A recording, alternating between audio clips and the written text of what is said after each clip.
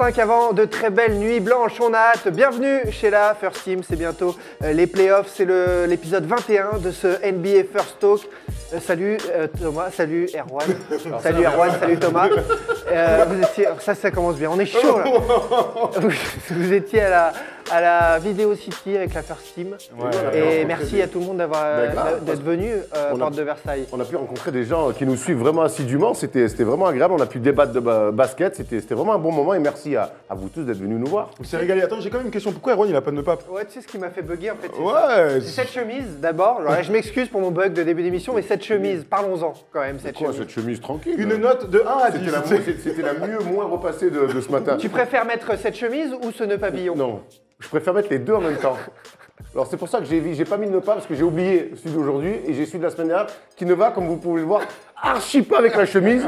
Donc comme je me respecte un minimum, je ne le mets pas. D'ailleurs, je vais le mettre à James Harden. En parlant euh, de choix vestimentaires, on fait gagner les maillots de Cleveland, les maillots d'Atlanta, après le dernier match de ouf entre euh, les deux équipes d'ailleurs. Grand match. Match, euh, ma- les maillots de Schroeder, maillot de LeBron James. À vous de jouer sur euh, les réseaux. Non, pas à vous de jouer, on donne les gagnants à la fin de À l'émission. vous de jouer, à vous de jouer, à vous de gagner. Ah Ouais, à vous d'avancer sur la timeline. À vous d'être tiré au sort par Maître Arrière qui va faire ça en fin d'émission, bien sûr. Exactement. Allez, on commence par ce tu préfères, le classique tu préfères. Tu préfères suivre le système pourri de ton coach que tu détestes depuis tant d'années ou tant de mois, comme Tyron Lue, si tu le détestes, tu as le droit de le dire, ou et donc désobéir, ou alors désobéir et euh, peut-être marquer l'action, euh, le panier de ta carrière, ou alors faire banquette jusqu'à la fin de la saison. C'est donc un tu préfères entre choisir de lécher le de, de son Entre la discipline Voilà. et, euh, et C'est la- bien dit, c'est bien dit. Et, et la prise de et la prise de position individuelle. Alors moi clairement je ne suis pas les si je suis en désaccord avec mon Tu coach et que je suis persuadé et que je suis persuadé de pouvoir marquer, évidemment je vais désobéir à mon coach car le meilleur moyen de faire de, de montrer à son coach qu'il a tort, c'est de casser son système. Par contre derrière tu as intérêt à marquer. hein. C'est déjà ce que tu faisais quand on était à Malakoff ensemble, Erwan. hein. Ça m'est arrivé quelques fois effectivement. Moi, je veux la jouer discipline. Je n'ai jamais fini sur le banc. Au bout du banc. Oui, au bout du banc. Mais toi, Ah, t'avais eu ah. 29 ans, encore heureux pour toi. hein. Sinon, t'aurais pété les plombs encore plus que d'habitude. Oh. Je vois Moi, j'aurais préféré euh, suivre les consignes du coach parce que je me dis, il reste encore 50 matchs dans la saison parce que je suis en NBA. Et puis je me dis, ça sert à rien de finir au bout du banc de Naz. Non, on va la jouer corpo. Jeune- on la joue corpo. C'est pour ça que tu as toujours été un joueur moyen. Exactement. Genre moyen, mais toujours adoré pour mon intelligence intellectuelle, pas mon coach. toujours. Fidèle, au choix du staff. Ouais, peut-être pas quand même. hein. Mon intelligence. Pas tout à fait. Allez les amis, sortez les popcorns, c'est parti pour les news. Bryant on the move with the jumper. He got La news du jour, forcément, c'est Russell Westbrook, la légende. 42e triple-double. Il efface le record d'Oscar Robertson.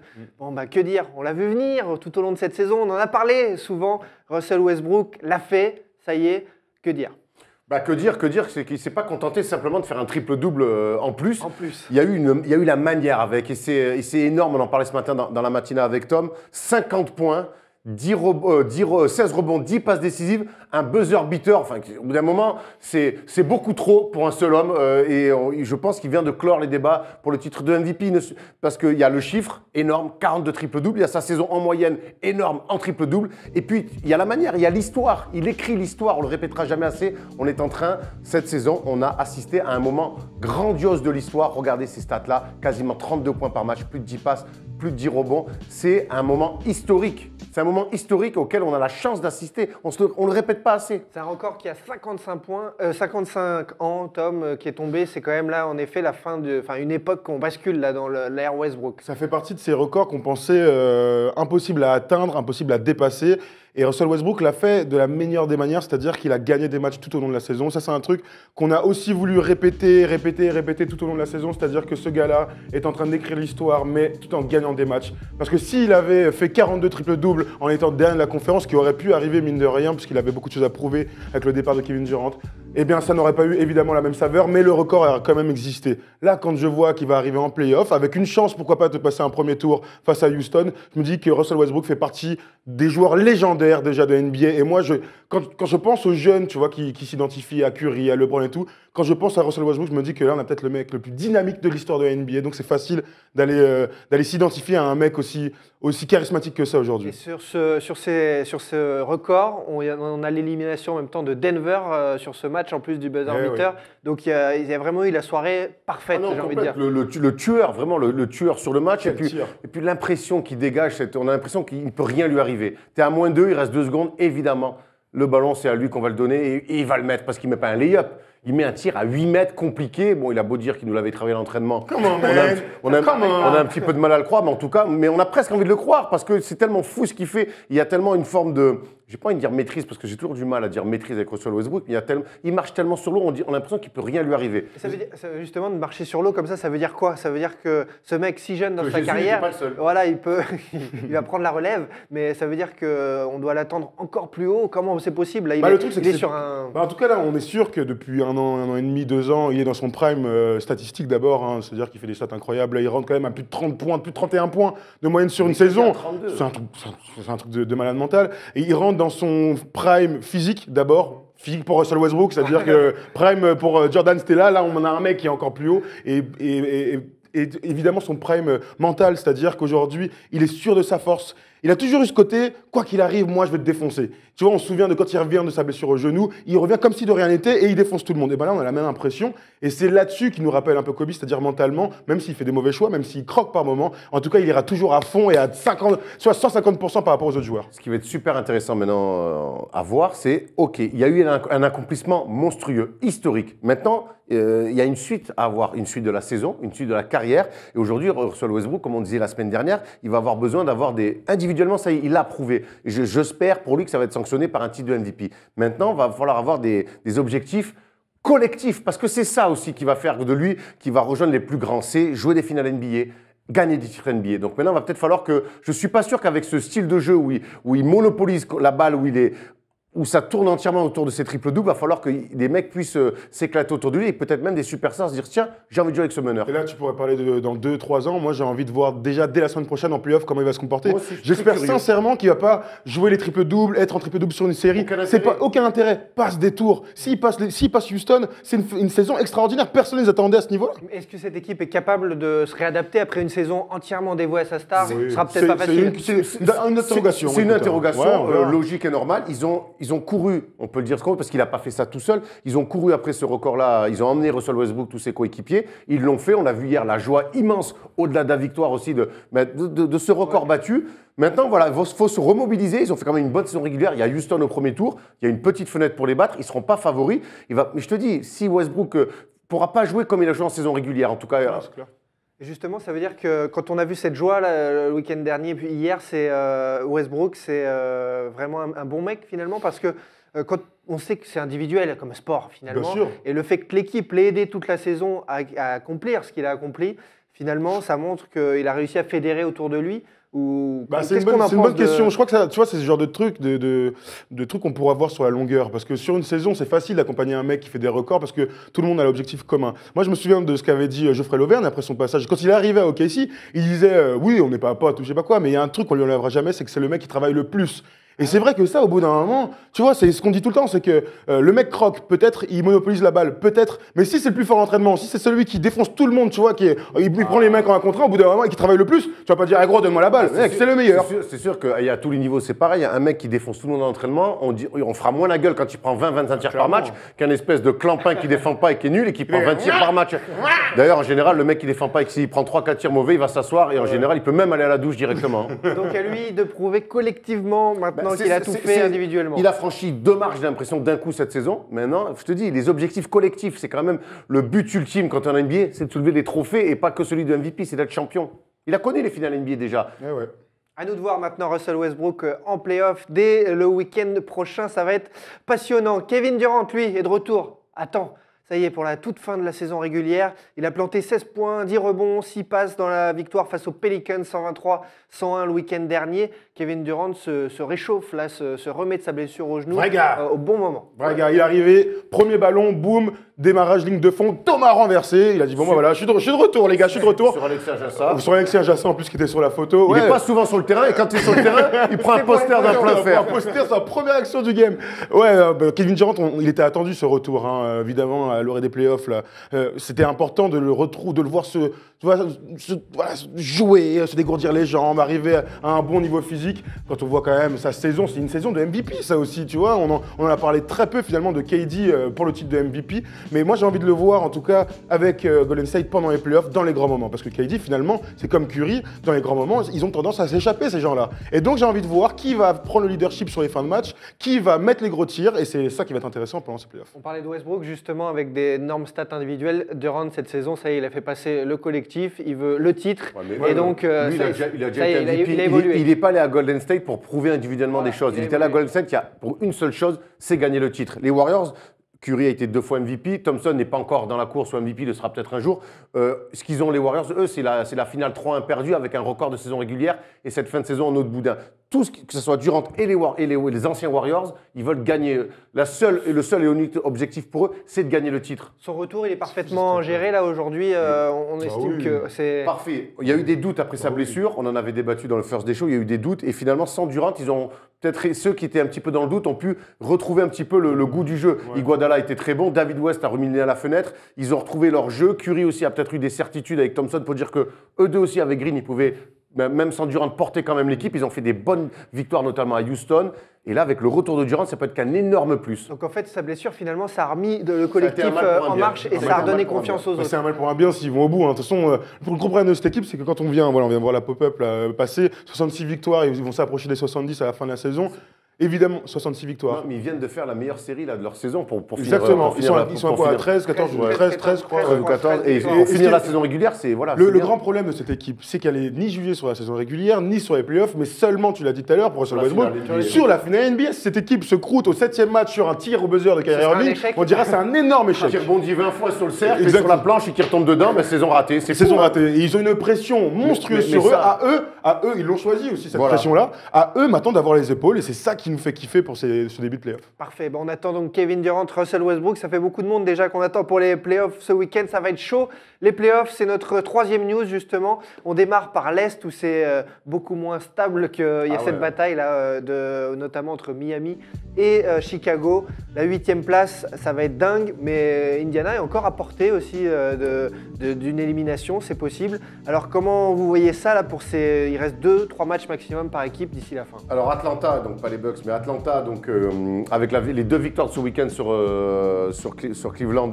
euh, Qui l'eût cru d'ailleurs pas grand, Personne. pas- pas grand monde, il y avait, il y avait des bons coups à faire hein, pour le coup Ah, là. Donc, les deux victoires Cleveland du week-end euh, face, euh, les deux victoires d'Atlanta ce week-end face euh, au champion en titre leur assurent quasiment une, une place en playoff. Indiana, Paul George est très fort en ce moment, ils ont pris les matchs qu'il fallait. Ça va se jouer entre le Heat et, euh, Et Chicago. et Chicago. Le Heat qui a perdu très court à Toronto, qui est allé gagner à Washington. Et dans le même temps, les Bulls sont, ont perdu face aux Nets.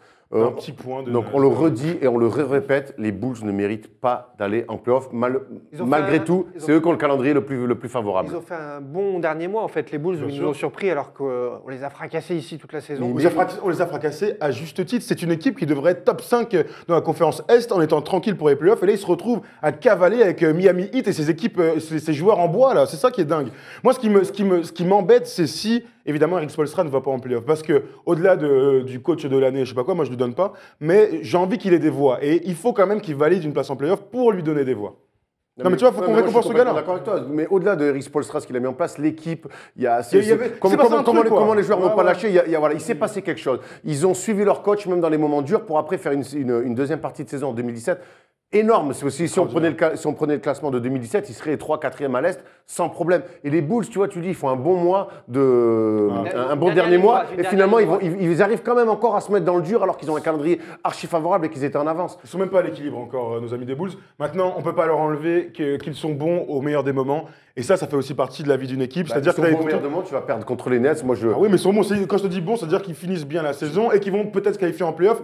Tu peux pas enlever ça. C'est pas, c'est jamais anodin. Tu vois ce que je veux dire Il- il- moi, je Ouais, te dis, en fait, moi, ma j'ai crainte- plus. un- je on en vois- parlera après. Pour les, pour les un coachs. Cleveland-Miami me, me- m'excite bien plus qu'un Chicago-Cleveland. Tu veux pas voir D. Et- White et- contre LeBron non. Et Moi non plus. Et, et Cleveland, Chicago, ce serait une fessée Cleveland, Chicago. Forcé Moi, je pense qu'ils les détruisent. hein.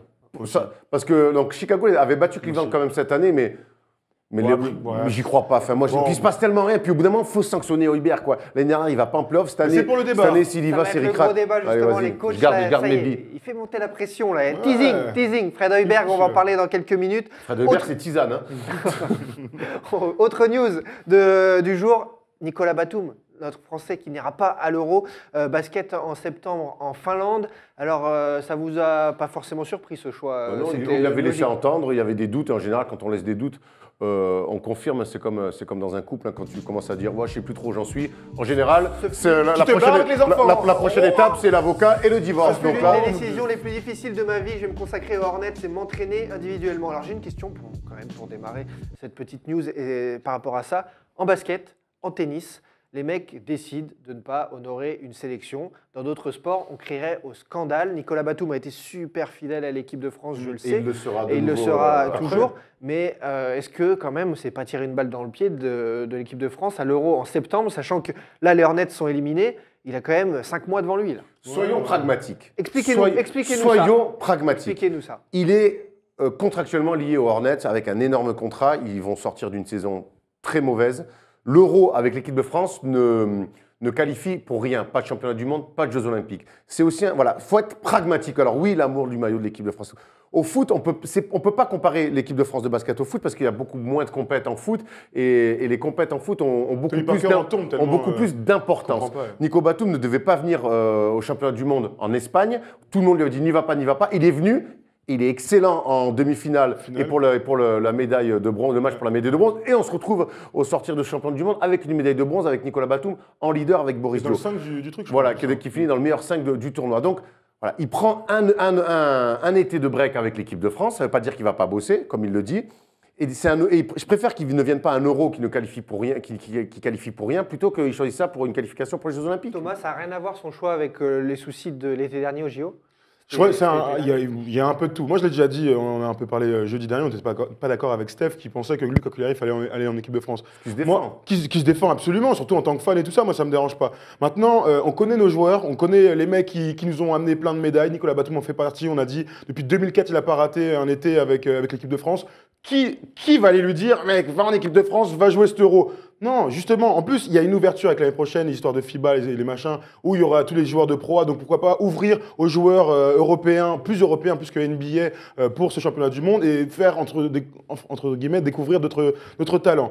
Euh, pour revenir à ta question, qui était Qui était euh, sur Nicolas Batum, je ne sais plus. Est-ce qu'il se tire pas une balle dans le pied euh, Est-ce que l'équipe de France ne tire pas une balle dans le pied ou Batum avec ça avec l'équipe- à l'équipe de France? Mais- Non, non, je, moi, moi je crois pas. On sait qu'ils vont revenir, les mecs. C'est pas comme s'ils faisaient une croix. Donc, euh, donc non, moi, moi, ça me choque pas. Surtout que tu l'as dit, il y a un gros contrat, il a signé un gros contrat.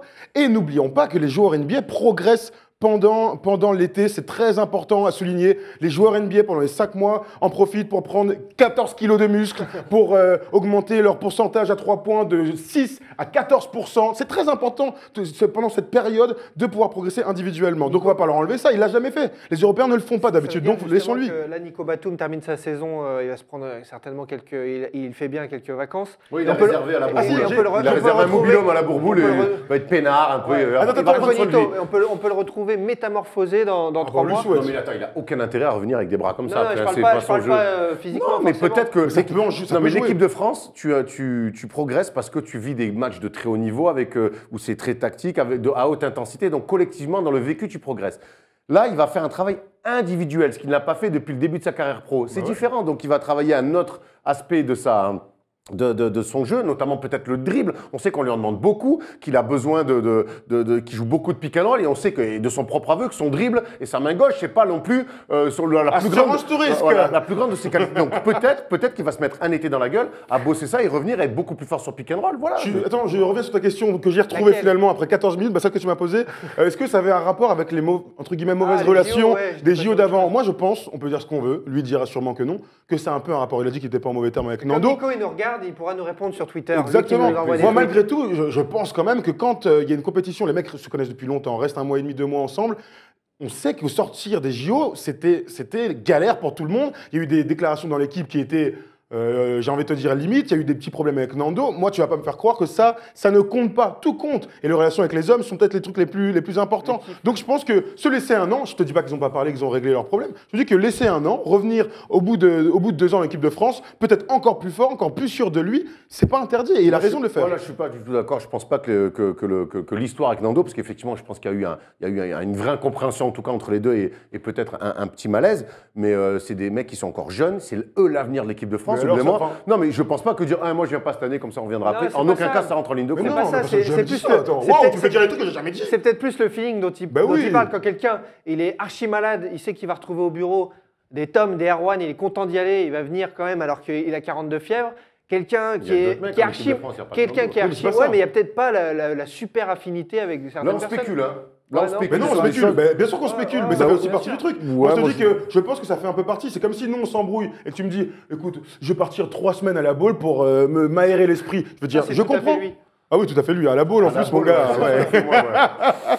Juste de un mot. l'air. Ici on, ici, on est là pour parler NBA, mais juste un mot quand même pour euh, l'Euro euh, en Finlande en septembre. Ça va être une équipe peut-être un peu plus FIBA européenne euh, avec Bah, de J'espère que. Fournier sera leader de Et cette ça va équipe, être- avec Nando. Je pense que tu Avec vas Nando. avec une raquette Boris Dio, déjà Rudy Gobert. Ah, Sympa. non, Donc plutôt sympa. En plus, ils- accessoirement, ils jouent ensemble euh, dans la- sur la même franchise. T'as Hurtel à la main. Hurtel à la main, ouais, ouais, non, mais ça va être un mix de- Mais de toute façon, le Ça va basket être sympa. français, il faudrait qu'on s'y penche vraiment un jour. Le basket français a un vrai, a un vrai réservoir, hein. faut pas être inquiet.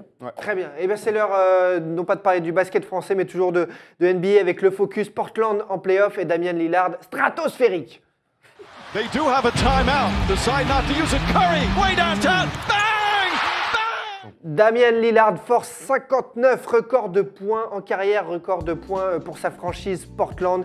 Il était euh, dans un jour exceptionnel, il est magique contre euh, Utah. Euh, Portland qui euh, s'est accroché à sa huitième place grâce à un grand Damian Lillard. Alors les amis, qu'est-ce que vous avez pensé là de sa- fin de saison et de ce, ce coup d'éclat magique? Alors ce coup d'éclat, il est énorme parce que déjà c'est important pour les, pour les Blazers. de- C'était important de prendre ce match face au Jazz.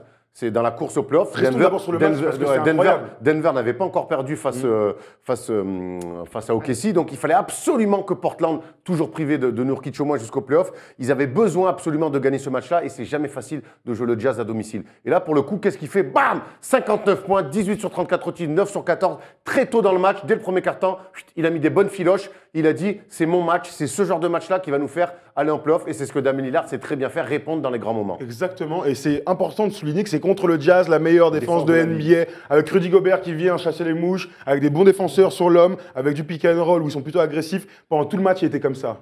C'est l'heure de qui? C'est Dame, Time, mon gars, parce que c'était son moment. Il a défoncé tout le monde. Et là, on est en train de voir euh, les mecs qui ont taffé dans, cette saison, hein, simplement. C'est donc le dixième mec cette saison à marquer plus de 50 points dans un match. Et oui, ce n'est jamais arrivé dans l'histoire de NBA. Alors vous les voyez, vous les connaissez tous, hein, on on va pas les, va nommer. Il y a une autre petite stat que j'ai trouvée. Euh, Lillard, donc c'était un record de franchise, hein, euh, évidemment son record en carrière, mais record aussi de franchise. Il a dépassé Brandon deux Roy. joueurs, non pas Brandon Roy, deux joueurs de. Portland, euh, parce qu'il a marqué plus de 30 points dans, dans 26 matchs différents cette saison. Alors je vous demande, qui aurait pu ah, détenir Clyde Drexler, Clyde Drexler évidemment. Et, euh, Facile, vas-y Erwan, fais-moi kiffer. Bill Walton Non, pas Bill Walton, vas-y, vas-y, je suis là, là, vas-y. Quelle époque? Euh, je, quatre- je sais pas. 90? Rachid Wallace? 90, non, non, non, non. 90, Damon je sais Stoudemire même pas, je sais même pas. Damon 90. Stoudemire Non. Il a un nom un peu drôle. C'est un synonyme de Zizi. Oui, très bizarre ce que je viens de faire, mais... Bonzi Wells Non, mais je sais pas. Kiki. Ton, ton indice, il est. Kiki Vente de, vente de vague. Exactement. Bah, tu vois, c'est un synonyme de Zizi, tu m'as regardé ça. Bah oui, son prénom. se comprennent, il y a une bah connexion oui. zizi. Bah ça va, c'est pas trop. Bref, en tout cas, Damien Lillard euh, a réagi parce qu'on se souvient les histoires du All-Star Game, de Team USA, et, euh, et Damien Lillard fait encore une plus grosse saison que l'année dernière, alors qu'il avait été très fort l'année dernière. Il, a plus de il est- 27 points par match. Ah, C'est incroyable. C'est ouf. C'est incroyable. Et puis très tôt en plus, il a. Alors, ce qui est intéressant face Ouais, au Jazz, ouais. c'est qu'il les a punis une fois de plus. Et Coach Brown nous l'avait expliqué de manière parfaite. Il les a fait exploser derrière le pick and roll sur l'adresse extérieure. Et après, il a eu des lay-ups. Qui, qui, qui, qui va en dessous des, des pick and roll? Sur Damien Lillard Poteau, non mais. Bah, mais c'est sur la Lillard, sur Steph Curry, c'est un peu une constante NBA. Ça, moi, j'aimerais bien un jour qu'on l'analyse. C'est cette- ces défenses sur pick and roll, en tout cas même sur les fins de match, parce qu'ils sont bien revenus le Jazz à un moment donné. Et ils se sont encore fait punir sur l'adresse extérieure. Et après, derrière, forcément, tu sors un peu. Et là, derrière, ils sont beaucoup moins organisés. Et du coup, ça donne des lay-ups. Donc, belle victoire, euh, belle victoire de, de- de Portland. Et- Lillard, c'est le pur joueur qui euh, kiffe la pression, qui a besoin de, la, de monter comme ça, de- que ça chauffe, qui a besoin de que ce prouver. soit les, les playoffs. C'est un mec quand même depuis le début de sa carrière qui a cette sensation de dire moi on me considère pas à ma juste valeur. Il a tout le temps ce côté côté-là, et de manière assez sobre, je trouve injuste par les faits, de dire Mais attendez, moi je fais partie des plus grands, parce que c'est vrai que sur ce poste-là de meneur, All-Star Game, on entend souvent euh, dire mais je devrais y être Oui, mais même. Team USA, puis pour- même dans, dans les voies, regarde, euh, je t'en sors des meneurs Westbrook, Curry, Irving, John Wall, Isaiah Thomas cette année. On, on est euh, Kyle Lowry, on est lo- on- Lillard, c'est pas le premier qui nous vient chaque fois à l'esprit Ah, pour la après. plupart. Mais bon, il, est- il, est- pas, il hein. fait partie de cette classe-là quand même. C'est quand même un joueur de très très très haut niveau et qui une fois de plus amène son équipe en playoff. C'est normal oui et non parce qu'on on le voit quand même, il est décisif, il est leader, il montre, euh, il monte cette équipe très très haut. C'est pas non plus une équipe euh, qui peut ouais. aller beaucoup plus haut. Euh, Ah, c'est normal et non. En fait, le problème, c'est qu'on en revient aussi à son bilan collectif. C'est qu'il n'est que, entre guillemets, huitième de la conférence Ouest. Moi, tu vas pas me dire que Damien Lillard est meilleur que Russell Westbrook. Tu vois ce que je veux dire? C'est aussi comme ça qu'il faut juger ce gars-là. En tout cas, ce qui est sûr, c'est qu'il fait une saison incroyable.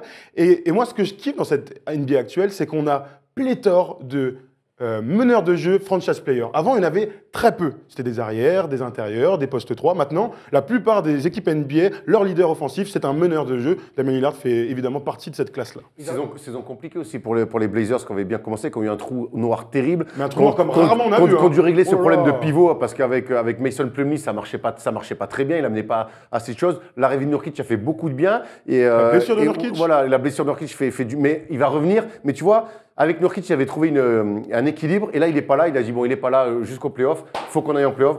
File-moi la gonfle. C'est son heure, gros. Nurkic va revenir, mais ça va pas, ça va être compliqué de ne pas prendre une, une volée aussi au premier tour là. Ouais. pour- L'important pour- les, pour les Blazers, c'est qu'ils aillent en playoff et qu'ils puissent cet été repen- maintenant repenser un petit peu leur équipe. Ils ont du matos, il y a peut-être des mecs qui ont une valeur marchande pour trouver des joueurs qui fit un petit peu plus. Ils vont être ces- obligés.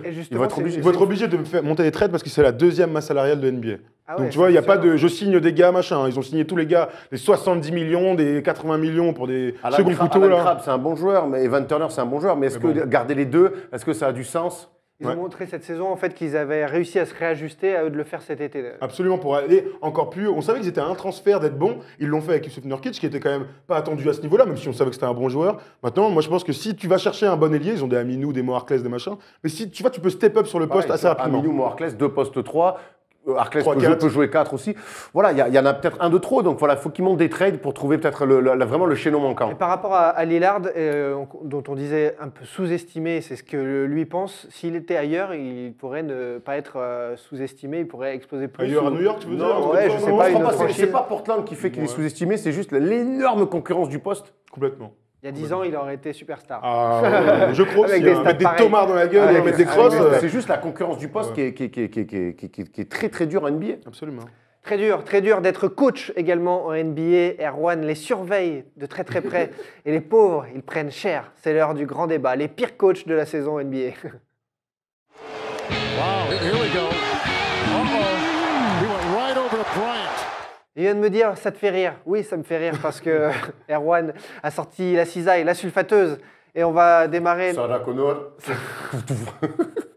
et on va démarrer par euh, ce, ce débat sur les pires coachs NBA. Euh, non pas par un, un coach choisi par Erwan, mais par euh, Alvin Gentry. Alors, Euh, avant qu'on commence, avant qu'on commence ce débat sur les, sur les pires coachs de, de l'NBA, ce qui est complètement subjectif, on peut dire quand même que c'est la première année en NBA, encore un, record historique, mais celui-là il est un peu où il n'y a aucun coach qui s'est fait couper. Ouais. Pourtant, on a vu des équipes quand même avec des bilans bien dramatiques, mais là, il n'y a aucun coach cette année. C'est une première dans l'histoire qui s'est fait couper.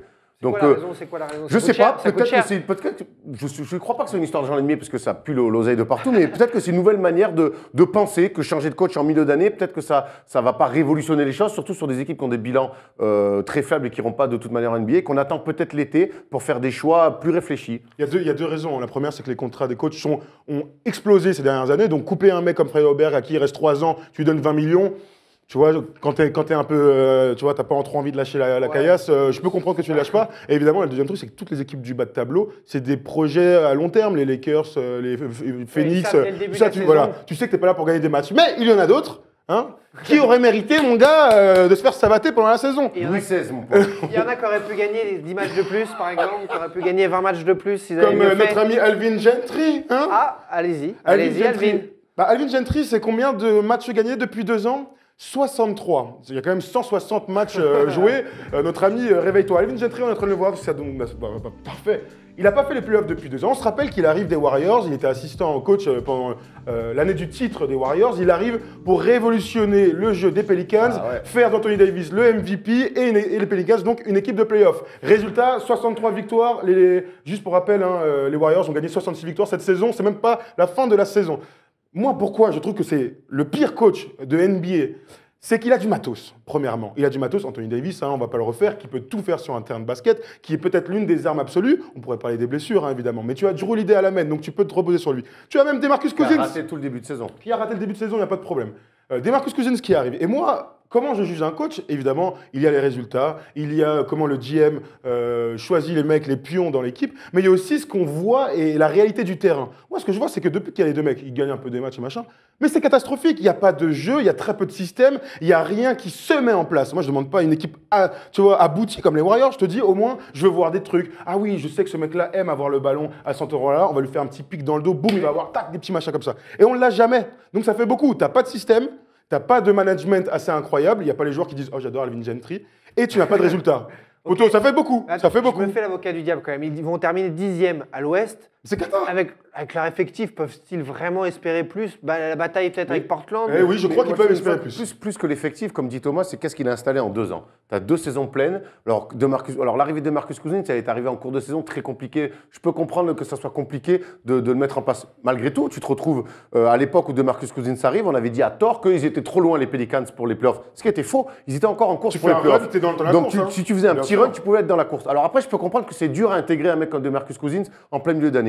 Mais qu'est-ce qu'on a vu dans le jeu? Qu'est-ce qui a été mis en place pour que les deux puissent être un peu plus complémentaires? Rien. Rien. Drew Holiday est arrivé aussi, euh, il a amené beaucoup de bien à la main et tout, mais qu'est-ce qu'on a vu? Rien. Drew Holiday était très fort sur pick and roll, très fort sur la création, mais sur quoi se sont reposés ces joueurs-là? Sur sur le talent euh, des Voilà, mecs, sur, leur, juste sur leur sur- talent. sur leur talent intrinsèque et individuel, et moi c'est... Alors c'est bien de le dégommer, mais alors il a quand même été mis en place. Il y a eu des choix. euh, Attention, les et puis, vous les envoyez- Pelicans, on vous va en- plus loin. Regarde, ça fait deux ans. Qu'est-ce qui s'est passé? On en avait parlé en tout début d'année. Qu'est-ce qui s'est passé à l'intersaison? Tu mets, tu mets plus ton stylo dans ma tête comme ça. Qu'est-ce qui s'est passé à l'intersaison? Rien. Les Pelicans n'ont attiré pas grand monde sur le marché des transferts finalement. Mais vous envoyez que, que du négatif sur lui. Il a été, ils ont été le chercher aux Warriors quand même. Enfin, c'est- ça peut pas être une Ah, pipe. euh, le, le mec, il, Bah, c'est pas une pas pipe, avant, les avant les Warriors, il avec Phoenix, j'avais pas de. Avec non Phoenix, plus. il était à Détroit avant. À Phoenix, il fait une saison à plus de 60 Oui, victoires et tout, oui, mais oui. avec euh, Steve Nash. Avec. Steve Nash, bon. Passons. euh, euh, Même, moi, je, même moi, je fais 60 victoires avec Steve Nash. hein. Alors, Enfin, il avait fait- 40 piges, ton gars, là, quand même. Maintenant, mais Avec Hill et tout, là. Comment on fait pour perdurer comme ça sur plusieurs franchises et Le problème- le problème, Thibaut, le problème. Le, milieu du coaching, c'est un peu consanguin. hein, C'est. euh, Ah, c'est pas. Tu viens du foot, tu ouais, sais de quoi on parle. C'est hein, ça, euh. c'est le milieu. les- les- les- chez Canal Plus. Oui, Ouais. ah bah tiens. Voilà, on n'ouvre on ouvre, on ouvre pas beaucoup la voie à d'autres coachs. Et, et ce qui est bien, c'est que dernière- dernièrement, que ce soit avec euh, Quinn Atkinson, Snyder au Jazz, Atkinson, on Brad commence, aussi. Voilà, Brad Stevens, on commence à ouvrir à des coachs universitaires et d'autres coachs qui ont été assistants. Mais ces mecs-là qui sont dans le circuit depuis des années, ils trouvent toujours des, des, des, des gâches. Et pourquoi, pourquoi moi j'ai envie de le défoncer? Le dernier truc, c'est euh, les promesses. C'est comme les élections, tu vois. C'est au bout d'un moment, moi, il y a un mec en face de moi qui me promet des trucs. Il arrive, il me dit Vous savez, Anthony Davis, il va prendre 30 tirs par match, il va être MVP, on va aller en playoff. D'accord Je regarde la fiche, je vois 63 victoires en deux ans, jamais dans la course au playoff. Anthony Davis, toujours pété. Anthony Davis, qui fait des stats, mais tout seul dans un effectif qui ressemble au néant. Mon gars, c'est un trou noir. Et voilà, et je me dis, ah, je regarde les, pro- les promesses euh, d'élection, ah, c'est de la merde, Toi voilà, et ben je te défonce. Toi qui es dans les, les secrets de la NBA, Bien sûr. Anthony Davis va, va craquer à un moment. Parce que Non, là, je lui, il vise très, très, très, très haut quand même. Non, tu sais pourquoi? Je pense que sa personnalité fait que c'est un taiseux, tu vois. Donc les taiseux, ils n'ont pas tendance à dire Ah, vas-y, moi j'en ai marre, je me barre. Non, non, il va rester faire son petit truc et il va être patient. Va- Après, on dit ça aujourd'hui, il a 24 ans. Si à 30 piges, c'est toujours la même chose, peut-être que ça évoluera. Je pense que l'intersaison va être très important. Le- la gestion du cas des Marcus Cousins va être aussi être capitale dans le, dans, dans- dans- dans- dans la- dans le futur d'Anthony Davis aux, aux Pelicans, mais il va pas falloir qu'il se trompe. S'ils refont un nouvel été comme l'été dernier où ils recrutent personne, ça va être compliqué. Je pense que déjà, que, je pense que, je pense- c'est une priorité Ouais, je de pense fou, que hein. les trois derniers mois, la post-All-Star Game et avec l'arrivée de Marcus Cousins ont coûté euh, sa place à Alvin Gentry. Ouais, il va finir la saison, mais cet été, il va certainement sauter. Je vois pas comment on peut le garder parce qu'il a finalement rien commencé à mettre en place avec ces deux mecs-là. Tu as du gros matos, tu peux causer quand même beaucoup de problèmes. À l'époque du small ball, tu peux quand même, avec Cousins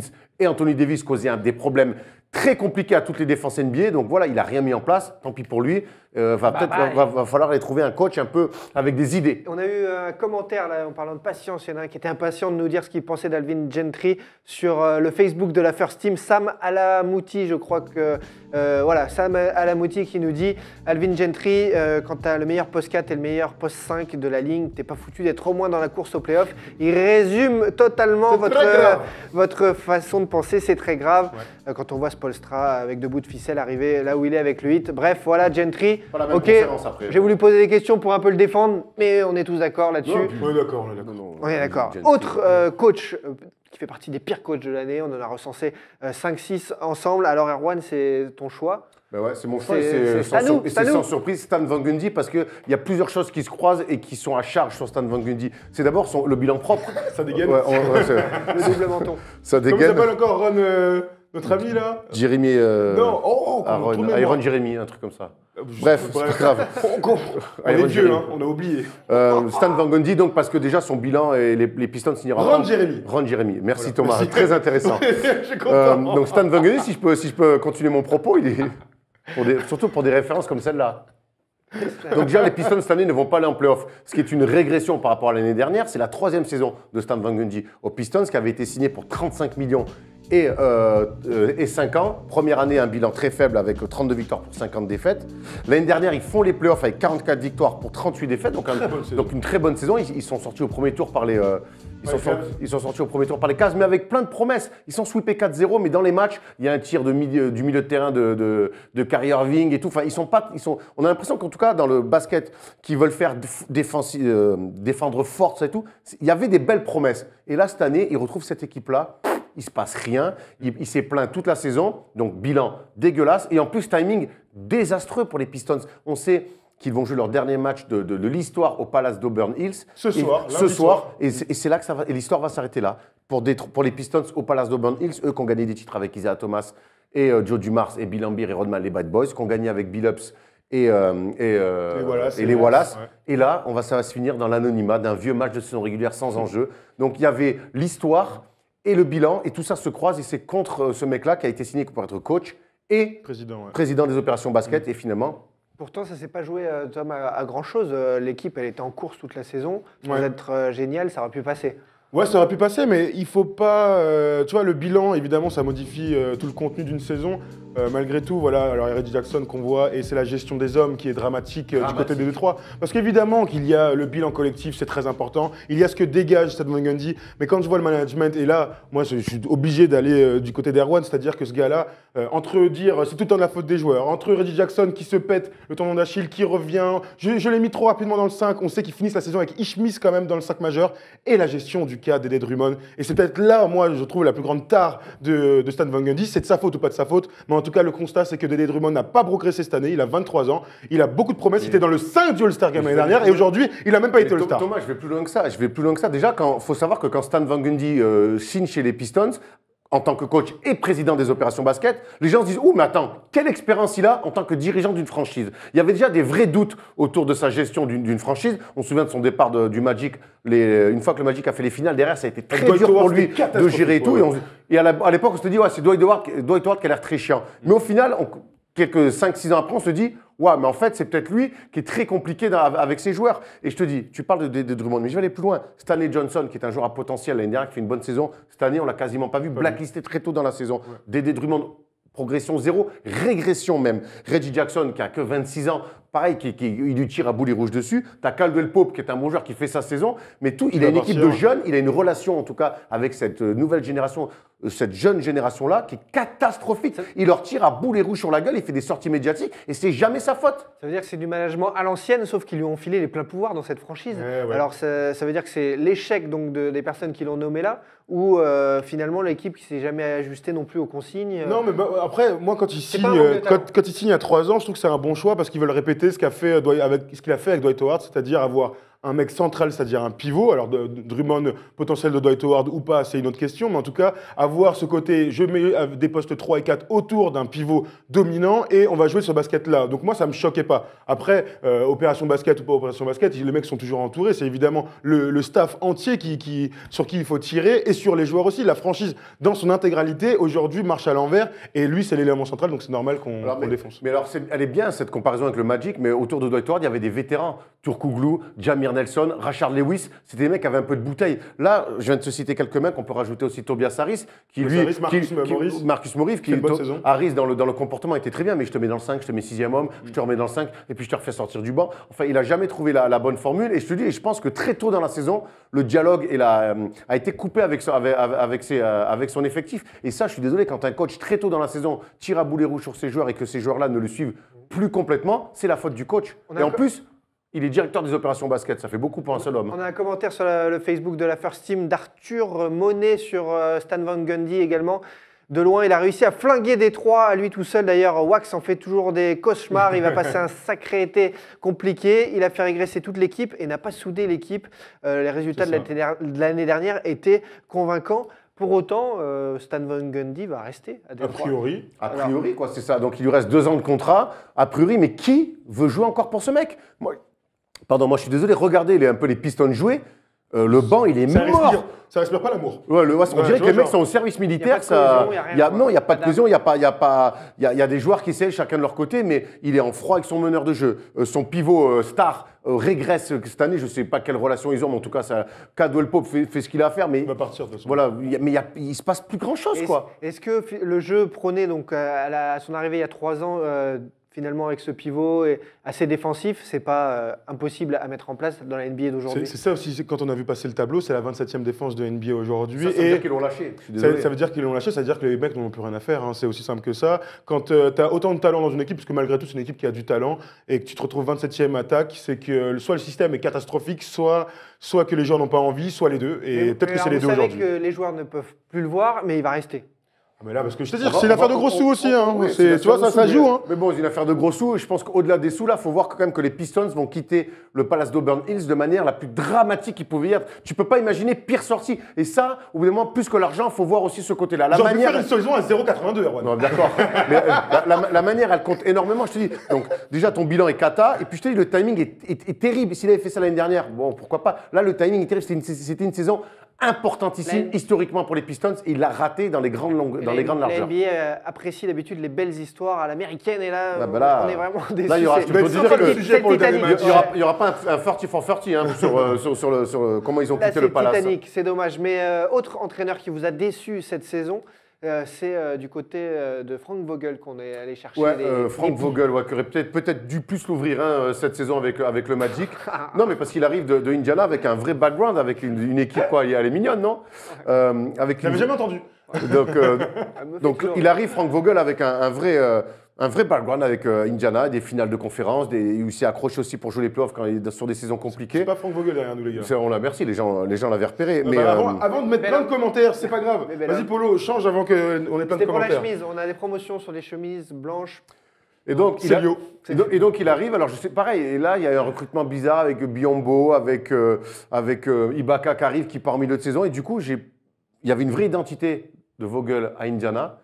En une saison, j'ai rien, j'ai pas trouvé le début d'un projet, en tout cas avec, avec le Magic. Et donc, on va, leur- on va être plus patient parce qu'il est là que depuis une saison. Mais en tout cas, j'ai l'impression que cette année, elle n'a pas servi à grand-chose, à part à dégager Ibaka et à faire venir peut-être euh, Tyros.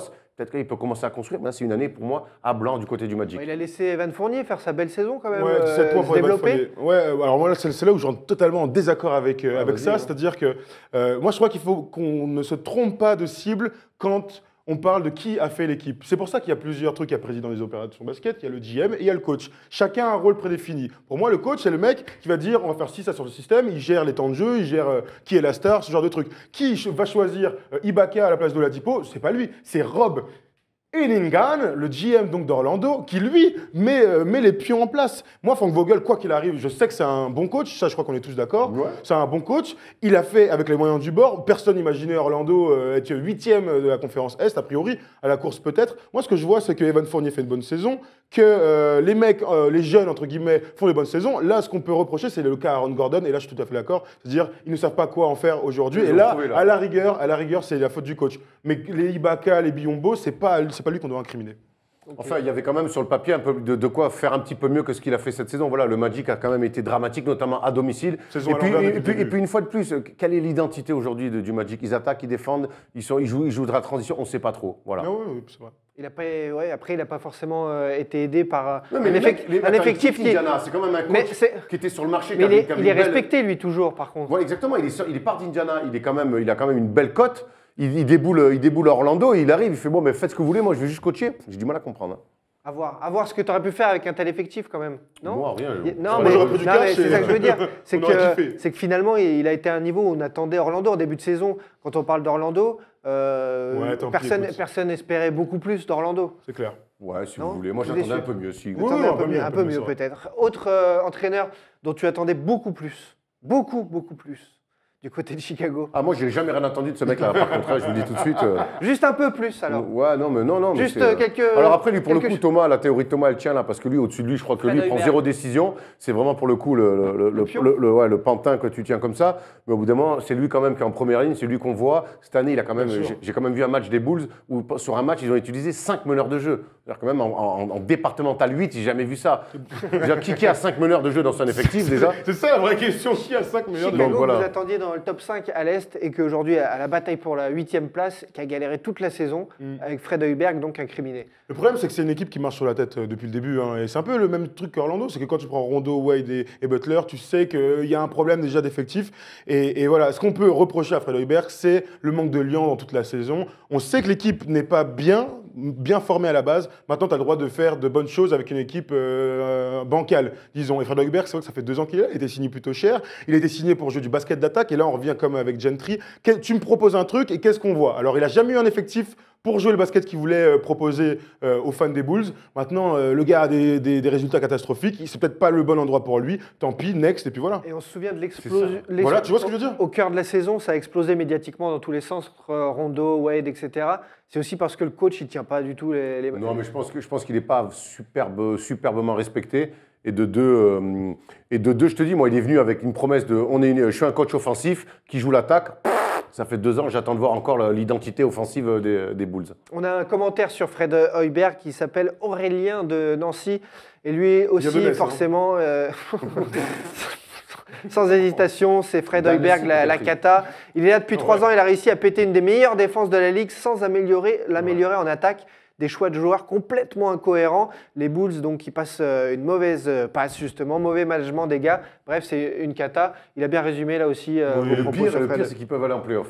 Comme quoi, la conférence Est est vraiment superbe. Autre entraîneur que vous souhaitiez pointer du doigt, C'est le dernier, j'imagine. C'est le dernier. Pourtant, il a, il a un très bon bilan. Alors, c'est pour ça, d'habitude, quand on s'attaque à des coachs ou à des clubs, des franchises, on va chercher ceux qui sont à- à la- en, quatre- À la en ramasse, ouais. à la ramasse, euh, les Lakers, euh, Luke Walton. Mais non. Aujourd'hui, vous voulez euh, parler de Tyron Lue. Tyronn Lue, et on l'a vu, on l'a vu de- dans le match contre, contre Atlanta. Quel manque de. Mais c'est pas un coach, quoi. Faut qu'on arrête. L'année dernière, il a, il, il- il a surfé sur le fait que LeBron James a fait un, du, de l'anti-David Blatt et qu'il a emmené tout le monde avec lui. Et Tyronn Lue, on a, on a profité au maximum. Et en finale, notamment, quand il y a le 3 et tout, vraiment. Enfin, le, tout, tu sais, ça fait partie de ces mecs, des fois, qui ont de la chance. Et Tyronn Lue, clairement, non, mais Tyronn Lue, clairement, il a surfé sur ce. Mais là, il est en train d'être rattrapé. Il a un effectif ch- champion en titre. Donc, oui, on, ça, masque un petit peu ses, ses faiblesses, mais quelle tristesse. Ça, ça, ça me fait penser. Quel- hier, ces, hier, ces joueurs, ils ex- hier, ces joueurs sont en train d'exploser dans le quatrième quart-temps. Il n'y a pas un temps mort, il n'y a pas une gueulante, il n'y a pas un système. Même sur des remises en jeu, il est incapable de mettre des Ils trucs en place. en plus, ils étaient à moins 23 dans le Ouais, quatrième non, mais- carton. Ça les me fait penser à un truc. 44, 18. Ça me fait penser à un truc. On va faire une petite comparaison foot, exactement 30 secondes, parce que ça va parler à tout le monde. Ça me fait penser à Zidane Zidane, 2006. Madrid. C'est-à-dire qu'il y a. euh, Ah, euh. 2006 avec Domenech. C'est-à-dire qu'il y a un mec, une méga star, qui est plus talentueux que tous les gens sur la terre entière euh, dans son domaine, donc LeBron James, qui prend son équipe qui dit, Eh, les gars, on va aller jusqu'au bout. Et même jusqu'en finale, il faut un exploit qui, même encore aujourd'hui, qui reste inexplicable. Et Tyronn Lue, il a été emmené comme un joueur finalement. Les mecs se sentent mieux avec Tyronn Lue, ça se passait très mal avant, on va pas rappeler pour la millième fois, mais ça se passait très mal. Ils ont pris un peu d'air. Et LeBron a pris tout le monde sur son dos, il a dit Eh, on va aller le chercher. C'est lui qui l'a fait, c'est pas le coach. Et là, quand on voit aujourd'hui que rien n'est proposé, qu'en plus au-dessus, ils n'arrivent pas à signer des mecs, bon, ils ont signé Bogut avec qui ça s'est mal passé, mais voilà, Ah, il y a des grosses faiblesses dans l'effectif, ils n'arrivent pas à changer. C'est peut-être aussi la faute du coach. Donc Tyron Lue, pour, vous, sûrement, pour même. vous, c'est une marionnette qui va subir un échec en playoff et qui va sauter cet été. Moi, je peux pas croire que son capital chance, il dure comme ça. Autant même si tu as LeBron Ouais, James c'est et Kyrie Irving dans l'équipe, c'est trop gros là. Hier, quand le match contre Atlanta, on est devant la télé, on fait mais au bout d'un moment, tu vas réagir, tu vas faire quelque chose. Tu vas- qu'est-ce que non, mais tu fais Tu vas faire quelque chose. Non mais c'était, les ajustements permanents dont les, les franchises ont besoin en playoff sur chaque match, sur chaque confrontation, ça, il n'est pas capable de les faire. Mais le problème, c'est que son équipe est tellement forte qu'il a LeBron James dans son équipe que ça masque. C'est ce que vient de dire Erwan. Il y a l'arbre là, et derrière, il y a une énorme forêt qui est Tyronn Lue, mon gars, c'est le bois de Vincennes, le truc. Et personne ne le voit parce que LeBron est beaucoup trop fort. Beaucoup trop fort d'abord pour sa conférence. Donc maintenant, la question, c'est est-ce que les Wizards, Boston ou Toronto seront assez forts pour aller embêter euh, LeBron au point En que Tyronn j'espère- s'échappe Moi, j'espère que ces défenses-là, que- qu'en face Brad Stevens et Scotty Brooks sont des meilleurs, sont des meilleurs coachs pour moi que Tyronn Lue. J'espère que tactiquement et, stra- et stratégiquement, ils vont, ils vont pousser les, euh, les Cavs dans leur retranchement. Et là, je t'attends au, au- au virage, Ah euh, oui, au, virage Tyronn parce que je trouve qu'ils proposent rien, quoi. Les mecs l'ont juste. coach- en fait, coach pote. je te dis, ouais, c'est ça. L'année dernière, les mecs l'ont juste en fait kiffé parce que Bah Blatt, oui. euh, avec Blatt, ça passait plus. Et ils ont juste dit, ah, avec lui, c'est cool, ça court un peu plus, c'est un peu plus de rythme. Et ils l'ont suivi comme ça. Mais ça va être un peu short pour cette année. Il va falloir qu'il propose d'autres choses. Donc il choses. bénéficie uniquement de son effectif qui est euh, sur mesure, Pour assez incroyable, assez très très bien monté. Pour Ça- l'instant, ça se joue on à ça. verra. On verra. Franchement, on verra. Tout le monde là- pourrait coacher les Cavs, c'est ça que vous dites Bah, on ne va pas jusque Non. là, mais. Tout le monde n'est pas pote avec LeBron, quoi. Ouais, c'est clair. Ok, Poto LeBron, qu'est-ce qu'en pense Nico Morillon dans les commentaires euh, sur la page Facebook de la First Team? Ah oui, il en pense beaucoup de choses. hein. Il a écrit un essai, notre Mais ami. sympa, sympa, ouais, il y a très peu de fautes en plus, bravo. vrai. Il y a même des virgules et des points. Comme Westbrook, il a clos les débats hier soir. Les Cavs se font monter de 26 points. Il lui reste impassible, c'est ce que vous venez de dire. Aucune révolte ou coup de pression à ses joueurs. Aucune tentative de solution, aucun ajustement ou choix tactique. Bref, euh, ouais, de l'extérieur, euh, c'est à n'y rien comprendre. Mm. Il a un effectif pour faire 70 victoires, un des meilleurs bancs de la ligue. Mais le Big Three joue près de 40 minutes. Sans eux, il n'y a aucun fond de jeu ou identité. J'aime bien, bien la fin. La fin, c'est un truc qu'on n'a pas dit. C'est que là, pour le coup, le coach a une influence grandissime sur les temps de jeu des mecs. Je sais que LeBron veut jouer. Je sais que lui, il dit Moi, je suis en forme et j'ai envie de jouer beaucoup de minutes. Mais c'est aussi au, coach de les poser et de dire LeBron, ce qui compte, c'est que tu joues moins, que tu arrives frais et dispo pour les playoffs parce que tu sais très bien que c'est là qu'on t'attend. Là, LeBron, il a 32-33 ans. Il joue beaucoup trop à mon goût. Et ça, pour le coup, c'est la faute du coach. Et juste, on finira aussi pour la- l'adaptation de Deron Williams, qui est un meneur aussi, tu vois, plutôt basket, qui met des choses en place. Ben, ça se passe pas super bien parce que le, il sait pas, il le sait gars, pas où il va, quoi. ouais, ouais, ouais, c'est Voilà. Ils savent pas quoi faire. Alors on attend de les voir les Cavs maintenant en playoff après ce qu'on a dit sur Tyron Lue. Peut-être nous écoute-t-il lui aussi comme Nico Batum. Ouais. Il va se il va s'ajuster. J'ai un, peu, un plus de Un doutes. peu plus de doute, ouais, moi aussi. On a une petite image quand même à vous montrer, les amis. Ça s'est passé sur le parquet euh, des Rockets. Vous qui êtes fan de basket, vous qui êtes amoureux, regardez ce qui s'est passé avec Kazé, la pom-pom girl succulente des Rockets. Succulente, il a envoyé. Succulente, il en connaît une qui va être contente à la maison. Vous, ne- vous ne la trouvez pas succulente? Et voilà, Et le moment magique. Elle s'attendait à un dunk au-dessus de sa tête. Ça a Eh été ouais. pire. Le coup d'enclume, la demande en mariage qui arrive, c'est magique. Ouais, et depuis, elle est enceinte, hein. Et depuis- Mais pas de lui, donc c'est un peu le bordel. De Benny de Boule. C'est le corps. C'était à Houston en Ah plus. c'est vraiment clair, rien à voir. Oran. Mais Benny, elle fait des kilomètres Euh, Benny, de Chicago à Benny, il est Houston. dans la night. hein. Benny, Benny, qu'est-ce qu'il ferait pas, Benny, pour rencontrer Kazé Euh, Enfin, bon, la belle histoire de la semaine, quoi. Benny et. Kazé, la pom-pom Vu comment girl. on, a, comment on a fini, elle est pas très belle l'histoire. On se demande ce que ça va faire comme euh, enfant. Bref, tout ça pour dire que c'est l'heure de- c'est l'heure du top 5. Le top 5, aujourd'hui, on vous a préparé les révélations du positif, les révélations de la saison NBA.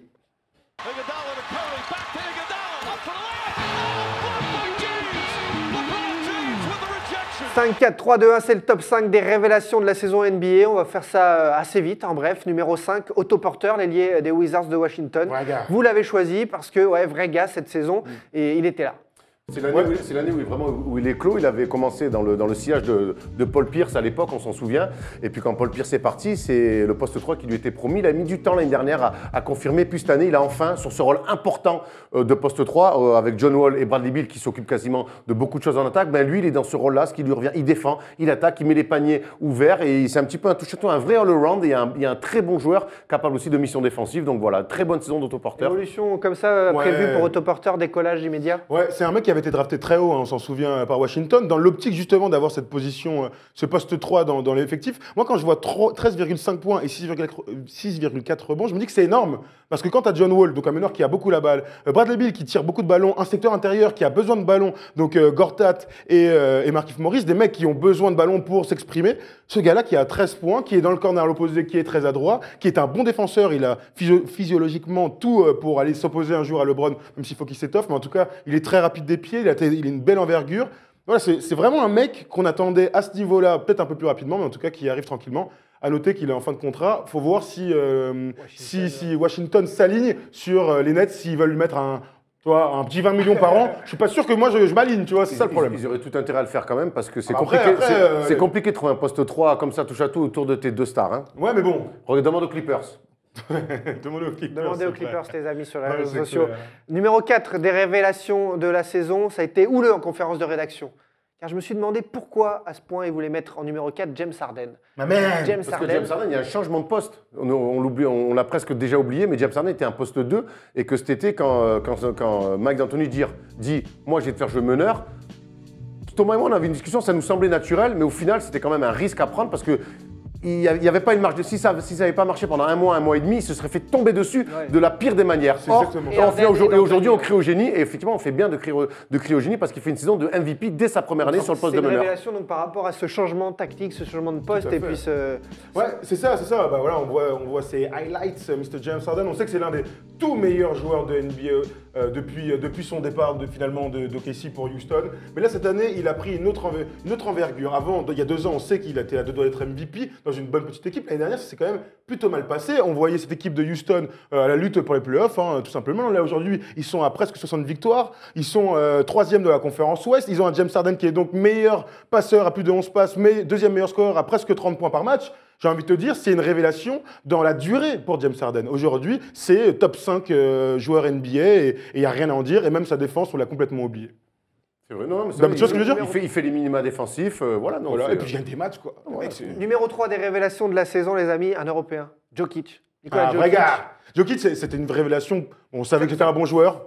On savait que c'était un bon joueur. Il, a- il était, il était dans le 5 des meilleurs rookies. Tout le monde a fait Waouh, c'est un truc de fou. Parce que Denver, personne ne regarde les matchs. Mais nous, c'est vraiment à Londres qu'on s'est dit Il est extraordinaire. On savait les stats. On, on sait qu'il fait des triples doubles. Cette année, il est à 16,16 points. Évolution, presque 10 rebonds. euh. Et 5 passes, c'est énorme. Mais franchement, à Londres, il a, déjà, il a défoncé tout le monde sur le terrain. Mais il est basket comme rarement. Et c'est un mec dont on n'a pas parlé la semaine dernière quand on parlait des- du nouveau Boris Dio dans le Feel for the Game, n'est-ce pas? Je te disais Ginobili, tu me regardais euh, avec des gros yeux. Mais Jokic, il a un truc de basket que personne n'a. C'est un truc naturel. Il est toujours dans les mauvais espaces. Il peut dribbler, faire des petites passes, peut mettre des tirs à trois points. Il est complet au possible. Et nous, il nous fait Et clairement les, kiffer. les Nuggets ont fait de la place hein, euh, en Ah transférant Nurkic qui, avait été, qui était benché pour laisser vraiment le poste de pivot Évolution titulaire à, Jokic. à, à Jokic, ouais. C'est un vrai gars. Et, et ça veut dire que lui qui n'a pas réussi à porter encore cette saison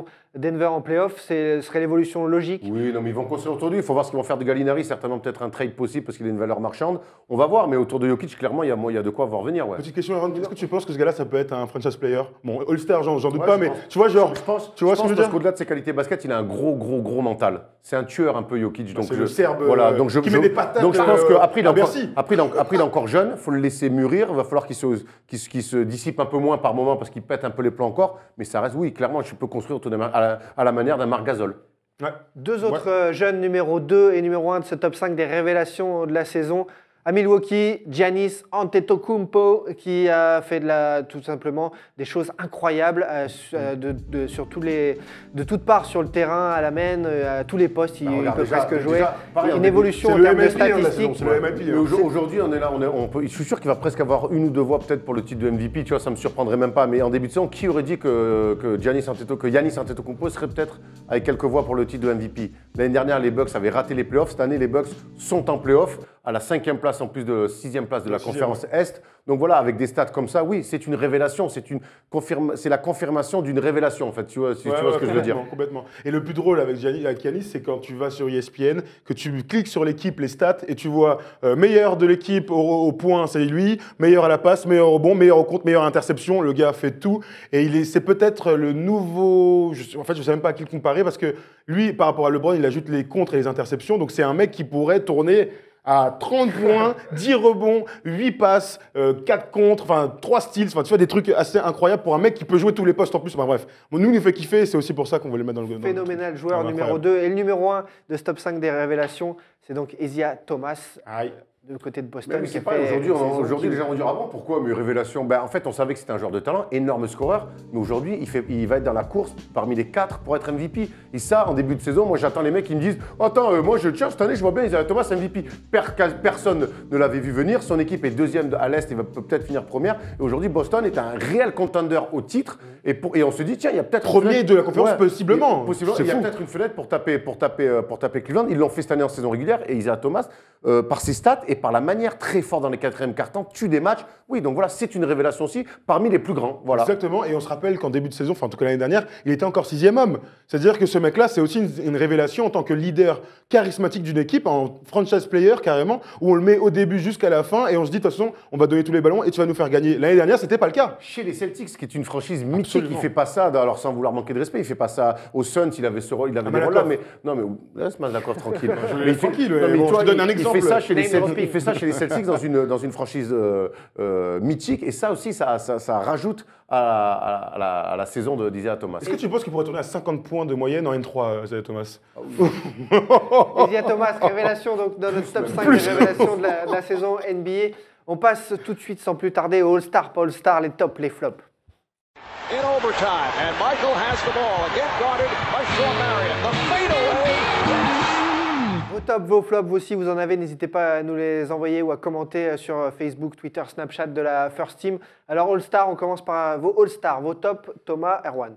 Moi, je vais commencer si tu veux. Euh, Rudy Gobert. Rudy. Gobert est donc dans l'histoire, monsieur Rudy Gobert. Il est le 12e joueur de toute l'histoire à faire une saison à plus de 1000 points, plus de 1000 rebonds et plus de 200 contre, Mr. Rudy Gobert. Et la dernière fois, je me faisais cette petite réflexion. Est-ce que ce gars-là ne pourrait pas prétendre à la All-NBA First Team?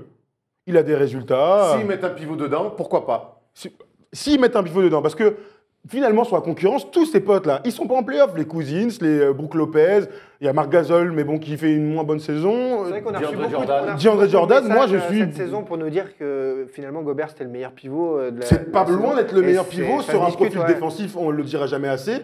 Mais pour moi, il, est dans la course et puis je lui donne le trophée de meilleur Et défenseur. J'ai envie de lui donner. On se souvient que Joachim Noah avait fini All NBA First Team euh, avec, pareil, dans un registre complètement Et similaire. Jordan- Jordan Nier, moi je me dis que cette saison, Rappelle 13, ces stats là de, de fou. il a plus de 13 points, plus de 13 rebonds, il est à 2,68 de mémoire, hein, 2,68 contre par match et c'est lui et Une de loin le meilleur 1000. euh, et le meilleur le meilleur sur la ligue. Ouais, il a plus de 1000 rebonds, plus de 1000 passes, plus de oh, tu m'as 1000 points, 1000 rebonds, 200 contre Voilà, sur la saison. ça. Chiffre et- Oh j'ai mal à la tête. Allez, à moi, consonne, voyelle. Boule noire. Et ton, ton All-Star justement.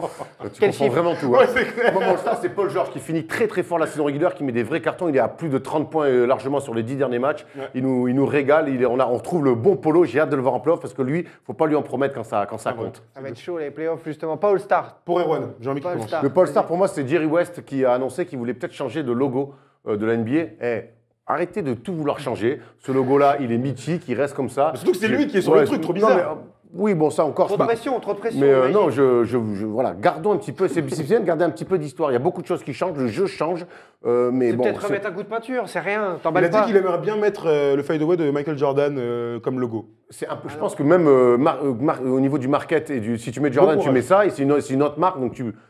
En tout cas, c'est une proposition de Jerry West qui est quand même le, Le mec sur le layup, logo. euh, main droite à gauche de Raoul Neto, il voulait mettre. Ah, bah, l'international. Bref, moi je veux qu'on garde ce logo-là. Voilà, je, je suis pour, qu'on- qu'on conserve ça. Moi, le jump shop de Thomas Dufont, Oh, mais moi, je- alors là, vas-y, il y a une idée, si tu veux me mettre, il n'y a pas de problème. Pas All-Star, Thomas. C'est pas par un star, c'est un méga super superstar, Hall of Fame de tous les temps. Sur Facebook, il y a un, notre ami euh, Rémi Ramallo qui nous a envoyé un petit message. Ouh là là. Et il nous a dit qu'il avait discuté ce week-end avec euh, Benjamin Moutet euh, et avec JB des podcasts Poster Dunk et ils nous ont sorti un article, les gars. Oh punaise, vas-y, envoie-moi ça, mon gars, envoie-moi ça. Eh oui, Erwan, Oh, quand il déboule euh, de- à côté de Nantes en N2. Alors, ça, c'est quelle année, Ça, Erwan c'est Serre Gaston, c'est dans les Landes. Serre Gaston, c'est dans les Landes et tu venais de Bassindre. Oui, parce que j'ai lu tout l'article et alors, attention, j'ai choisi les meilleurs morceaux. Arrivée de Erwan à Beautrette, 26 ans, au top de sa forme, qui sort d'une saison à 19,9 points à 58% au tir. Il va peut-être nous faire monter en N1, voire en Pro B. N'importe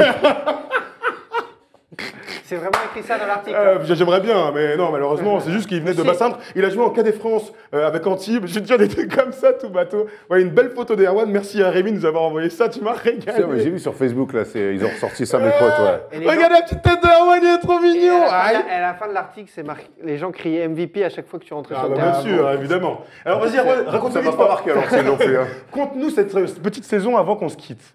Non, ça c'était une saison très, très, très compliquée. Un garde, gros- je garde de très bons souvenirs, les gens là-bas sont géniaux, mais sportivement, ça s'était pas très bien passé. On embrasse mais pour tout le monde, hein, c'est de manière collective, je parle pas pour moi. On On s'en envoie. fout de moi. On, en- on embrasse évidemment les gens des Landes et, les- et Ah, de la Béarn. du sud-ouest, de toute façon. De- du sud-ouest, les amis d'Erwan. qu'on retourne là-bas. On parle beaucoup de- souvent de cette région qui est quand même la plus éloignée de nous, hein, Mais qui est une région en basket, et c'est là où j'ai tout appris, donc forcément, euh, on leur parlera souvent.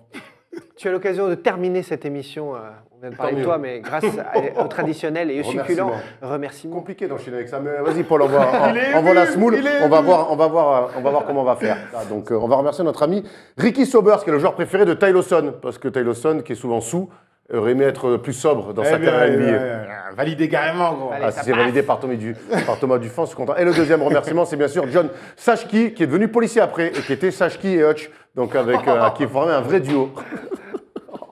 Il a mis la barre très haute. On va voir, on va voir justement le programme, l'agenda de, de la First Team.